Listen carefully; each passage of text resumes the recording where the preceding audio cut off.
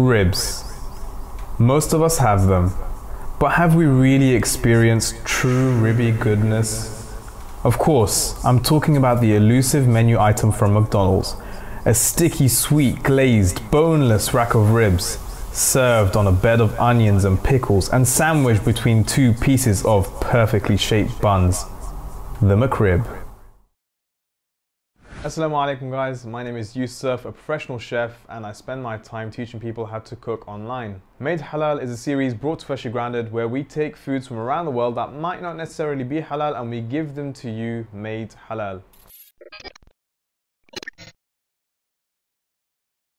On today's episode of Made Halal, we are looking at the McRib.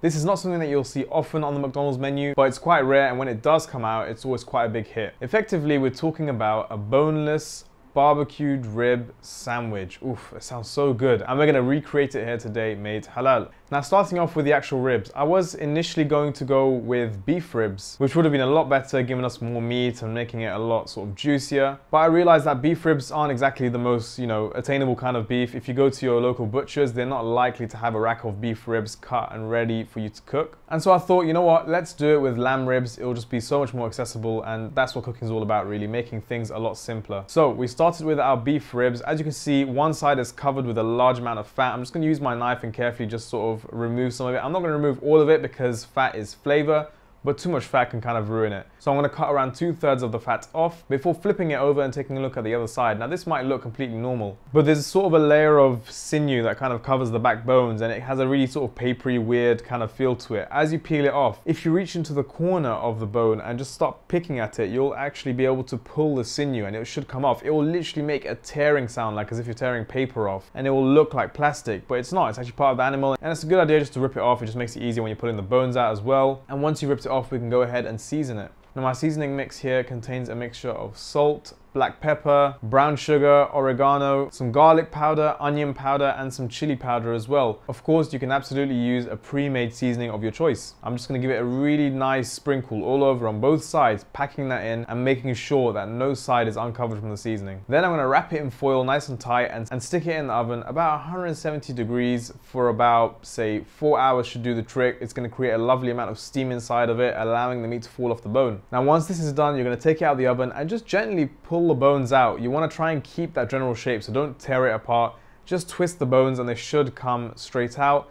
There will be the bones, which are obviously the ribs, which are going to run along it. And then there's also a large bone that keeps everything attached. You want to just carefully twist and remove all of these pieces. I'm going to set that to one side while we make our sauce. In order to make this, I'm going to combine some ketchup, Worcestershire sauce, maple syrup, and some hot sauce in a pan. Cooking that up just so that it sort of heats up a bit. Uh, some of the vinegar can burn off and it reduces into a nice glaze. And I'm going to glaze the boneless ribs sticking them back in the oven for about 5 to 10 minutes on a higher heat, maybe about 180, 190, just to give it a really nice golden sort of caramelized crust. While that's in the oven, we can go ahead and prep our onions. All I'm going to simply do is take half an onion and slice it very, very finely just to create nice sort of pieces and I'm going to take a pickle and slice it lengthways so that it has sort of nice long thin strips. Now in terms of our bun, now the McDonald's McRib is served on a sort of hoagie roll. It's like uh, it's covered in sesame. I wanted to make our sandwich a little bit bigger, so what I've done is I've taken a pack of just simple buns. I've trimmed it to the size of the meat and I made a very simple mixture using a bit of melted butter, some sesame seeds and some garlic granules, giving it a mix, brushing it over the top and then placing the two halves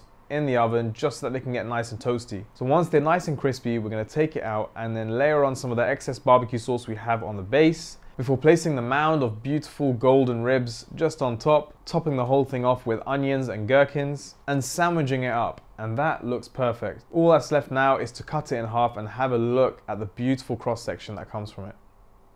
Okay, so I'm here with Faisal. We're back in the studio. Let's give this thing a try, shall we? I've got my handy fork ready. I'm just gonna use my hands. Oh, okay. I'm gonna use a fork. Use a fork because you're dignified. I'm ready. Bismillah. Bismillah.